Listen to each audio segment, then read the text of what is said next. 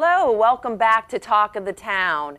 And I don't know if you've been to the Park Plaza cinemas for a little while, but if you haven't, you need to take an opportunity to go there. They are doing, they're taking a different twist with the movie theater theme. And with me today, I have owner of Park Plaza Cinema, Lucie Mann. Lucie, welcome to the show. Hello. And I know that you have different events at the cinema. I, I, you know, obviously when you go to the cinema or you think of a theater, you're going to watch a movie, but you do more than a movie. So tell us a little bit about how, what your take on the theater is now.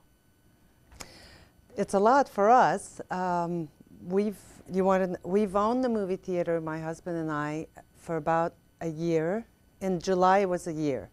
And the minute we walked in there, we decided we were going to renovate, but didn't know what we were going to do. And as we stood there and watched people uh, interact with each other before or after the movie, we thought we need to create a place where they can hang out because we, we love to entertain and can't do it because I'm over there all the time. So we thought, let's just create a place where people can convened before the movie or after the movie, and then that's how the idea of the ice cream came along and the little cafe, and then it evolved into a little uh, bar area, lounge. Which is, uh, I think it's a really original concept, and I and I like it. It's more like an it's like an evening out. It's not just going That's to right. the theater, watching the movie, and then having eat your popcorn and then leaving. It's actually a an interaction and an, an evening out among people. That's right. And, um, you know, people are not done after the movie. They want to hang out and talk about it or keep visiting with each other if they go as a, you know, group. Uh, they go in, they go to see the movie, and then when they come out, they're not done visiting. And I always felt like, oh, it's all, when I went to see a movie before it's over, I got to go, but I'm not done visiting, you know? So, anyway, the little bar area has been lovely for that. Just the other night, um, we were, my husband and I watched people come to see a movie with the, their family, and they stayed for about an hour after because they kept meeting all these people they hadn't seen in so long. So that was lovely. And I thought, you know, that's what it's working. It's working. This is what we had in mind.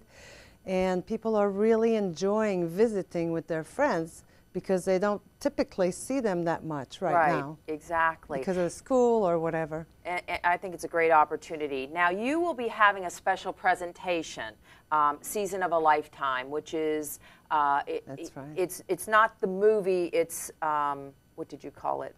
A documentary? It is a documentary, but it's the showing, right? Oh, it's a screening. It's the screening. It's the movie's not out in the public eye, and um, it will be uh, submitted for consideration for Academy Awards for documentary. It's about Jer- Jeremy Williams, who is was was the high school coach uh, in the Georgia area, and he actually developed um, suddenly ALS, which we know as Lou Gehrig's disease. So your idea was to bring that awareness of that disease, horrible, horrible disease, to Yes. more to the community, and um, I, which I think is amazing. And hopefully, we're going to have Rick Cohen, who was the director producer. He'll he'll be um, there following the screening, so that this way there's almost like a little um, uh, presentation following the, That's the right. Follow, following the show. He will probably talk about his experience of meeting um? Coach Williams, and uh, we'll have a question and answer, and um, just how it afflicts the families, but how this movie and the making of it has brought hope to the community where they, they are.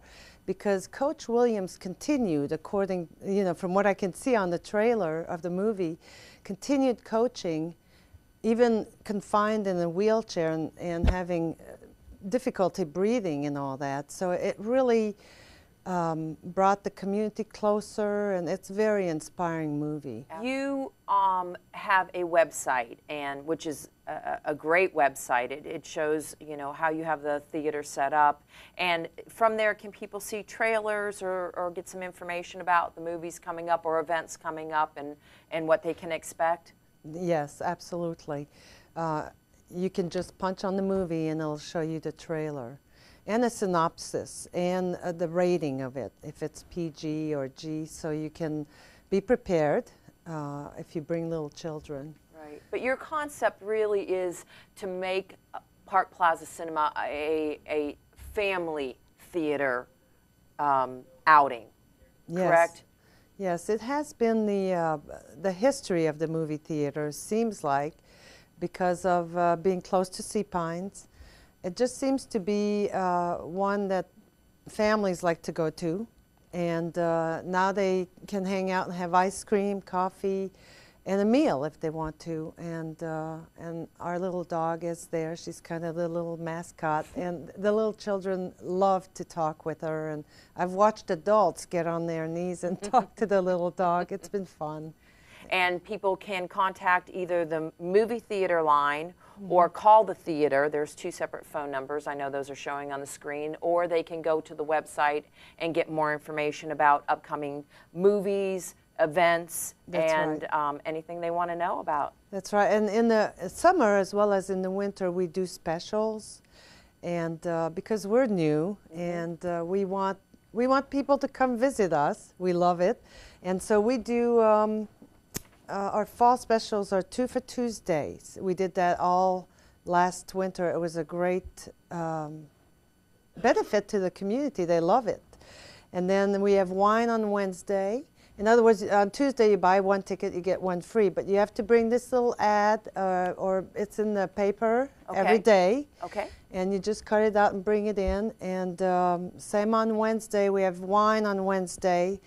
Get one free if you buy one. And on Thursday, um, you have a cer- if you buy a certain combo, you get a free ticket. And on Sunday, if you buy two Sundays, you get a free ticket.